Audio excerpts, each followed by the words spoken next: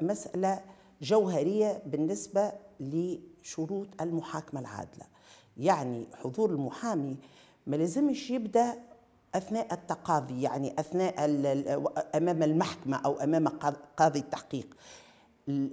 المعايير الدولية والاتفاقيات الدولية تنص على أنه الإنسان كل إنسان تتوجه له تهمة حال حالما يقع ضبطه له الحق أن يكون معناها مسنود بمحامي. هذه هذه مبدأ معناها هذه المبدأ. علاش؟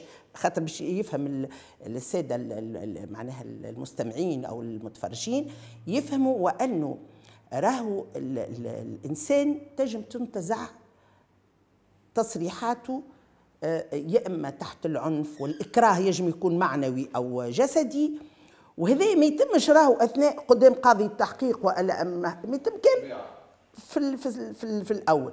يعني أي تأخير في آه، إنابة محامي من طرف ال ال ال أنا ما نقولش متهم لأنه مازال مش في طور الاتهام.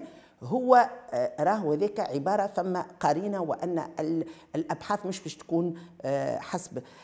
علاش؟ لأنه اليوم نحب ولا نكره إحنا معناها عشنا في منظومة ديكتاتورية. اللي مارس الديكتاتورية تتمارس من خلال آليات الأمن وغيرها وغيرها. دونك لهنا الإنسان لازم يحس وأنه عنده الحق باش ما يتكلم كان وقت اللي يكون بحضور محامي. لكن السؤال اللي تطرح اليوم هاو الإشكال؟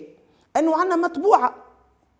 اللي يقول لك راهو حذر راهو سألناه تحبش طبيب؟ قال لا. سألناه تحبش محامي؟ يقول لا.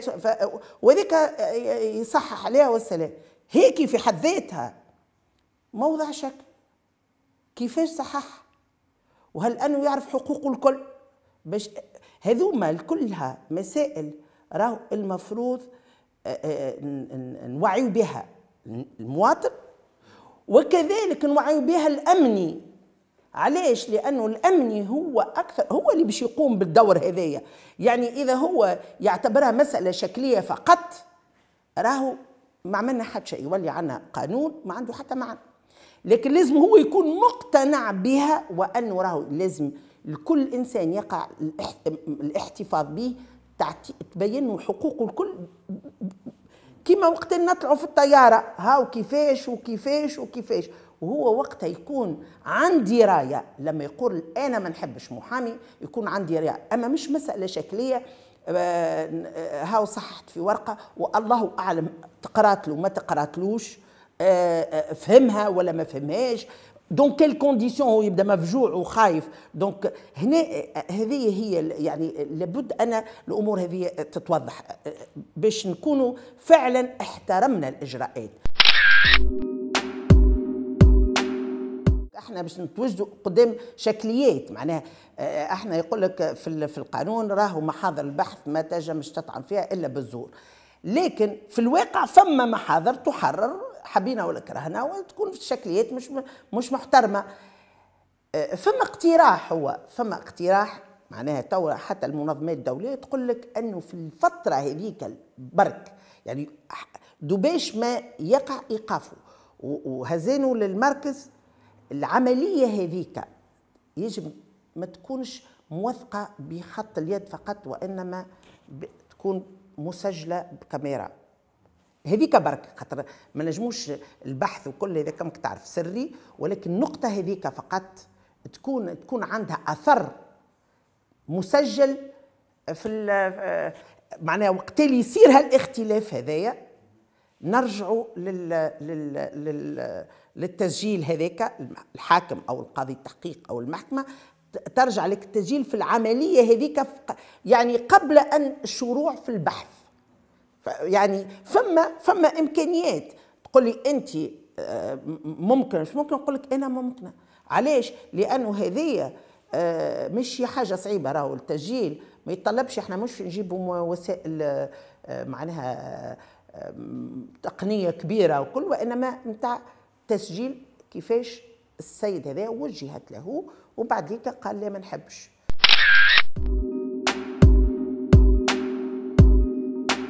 المسألة هذه في العادة تتطرح في الليل. معناها عدم وجود الأثر الكتابي مش في النهار خاطر في النهار المحاكم موجودة وال وال والوكيل الجمهورية والمساعدين نتاعو موجودين. توجد في الليل. به الإشكال هنا هي العائق هو أول حاجة يجب يكون عائق آه، آه، معناها آه، بشري. أنت كي تجي في محكمة فرضا تجي في محكمة في داخل الجمهورية اللي يكون فيها كان زوز مساعدين فقط. مثلا زوز مساعدين وكيل جمهورية.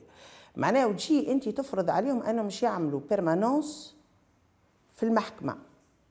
معناه قاضي مساعد. وكيل جمهوريه لازم 15 يوم هو قاعد في في المحكمة. هكا ولا؟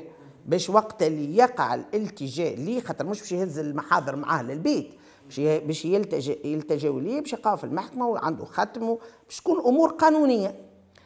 الإشكال اليوم أول حاجة العدد نتاع المساعدين إذا يكون شوية باش يثقل كاهل زاد قاضي تحطوا قاضي معناها مساعد وكيل جمهورية وتحطوا آه، كل يوم هو ليل ونهار وهو في المحكمة. هذا غير آه، منطقي وغير مقبول. اثنين هل أن المحاكم جهزت حتى يتمكن المساعد؟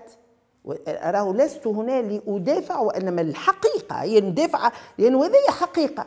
تحطه في قاعد في كرسي ينتظر هل جهوشي وضعية؟ معناها اللي تستوجب منه آه، باش يصدر إذن غاديك يعني في الوقت في الوقت قد قد. لهنا هي مسألة إمكانيات. إحنا كقضاة ما نقول معناها ما قلنا لازم يتم هذا ولكن وفر على الأقل كما تو تشوف أنت بالنسبة للأطباء عندهم إنسان يتمد فيها يرتاح. أما قاضي تحكم عليه باش يبدأ قاعد في كرسي. مش هذا. يعني تدخل فيها زاد الأمور نتاع التجهيزات. المحاكم مجهزة بمكان مخصص للمساعد اللي باش يقوم بعملية الاستمرار. هل ما إحنا ما عندناش. ما عندناش في تونس. معناش اذا الإشكالات هي هذه. فهمت؟ الإشكالات هي إشكالات من نوع هكا. هذاك علاش تلقاه سواء قاضي التحقيق أو المساعد وكيل الجمهورية اللي يكون في يكون في بيته بيان سور ما يكونش يكون في بلاد أخرى لازم يكون في المكان اللي موجود فيها المحكمة يعني في البلاد هذيك. وفي أغلب الأحيان يتم الاتصال به.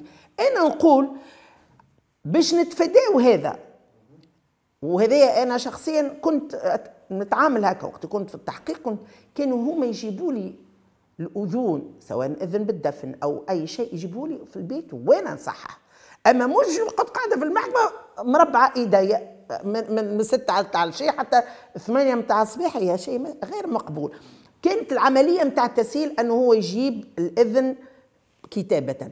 هذا وقت اللي تكون معناها مش مش المساله كل دقيقة فما وضعي.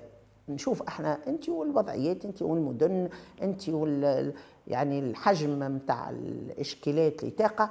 هذه لكن أنا نقول في كل الأحوال فما بلدان يكون اللي عنده بيرمانونس فما مكان مخصص حتى من خارج المحكمة. يجب يكون في إطار آخر يكون لائق فيه مكان يجب يبقى فيه القاضي وقت اللي يستحقوه يلقاوها هذه ظروف تاع البلاد وهذه إمكانيات. لكن نجم نلقاو الحلول. أنا نقول نجم نلقاو. نجم نلقاو مثلا آه، يكون التعامل بال inter بال mail.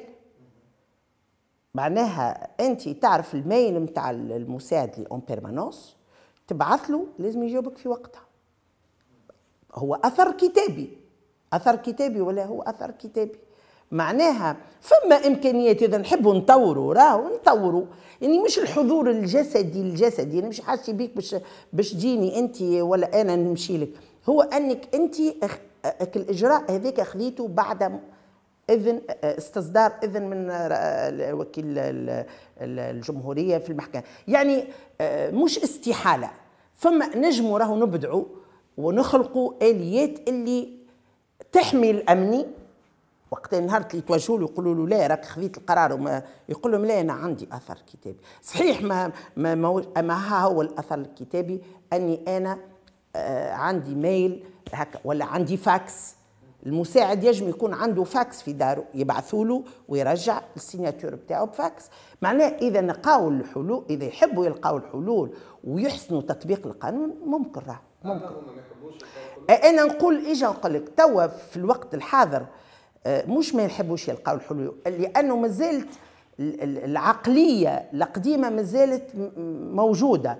يعني عملية الاستسهال وكأنه آه، تعاملنا هكا كلمتك قلت لي إيه كهو المشكلة وقت نربطوها بضمانات وبما فيهم المساعد القاضي يعني الوكيل الجمهورية أو القاضي أو الأمني يرى وانه هذيك راهي مسألة مسألة تهم حقوق الإنسان مش تهم مش شكلية فقط. هي مسألة آه، آه، عندها علاقة بحقوق الإنسان باش غدوة. وقت اللي أنا نجي نقول راهي محاكمتي حتى في حتى آه، صورة تونس في الخارج. راه وقت اللي تمت نقول راهو المحاكمة ذي تمت وفق شروط المحاكمة العادلة نبينها بال A plus B كيفاش هي راهي متوفرة فيها؟ يعني هذا هو مهم. هذا اللي لازمنا نكونوا مقتنعين به سواء قضاة سواء محامين سواء امنين وأنه اللي نعملوه هذا راه مش نعملوا فيه خاطر آه، للتعطيل أو ب... لا لا وإنما باش كل واحد اول حاجة يحمي نفسه الأمن يحمي نفسه خاطر يقول أنا خذيت الإذن المساعد وكيل الجمهوريه وكيل الجمهوريه يحمي نفسه لأنه ممكن فما تجاوزات يقوموا بها بعض الامنيين وهو يكون ما في بلاش في بالوش ما جابش يقولوا له راهو بالتليفون آه، ولا رانا خذينا هكا معناها مش هو يكون أعطيني اللي أنا أذنت لك. وكذلك المظنون فيه ولا المشتبه فيه ما يجمش يتمسك وانه حقوقه آه، معناها تهضمت أو وقت اللي فما حاجات مثبتة اللي الإجراءات كانت سليمة.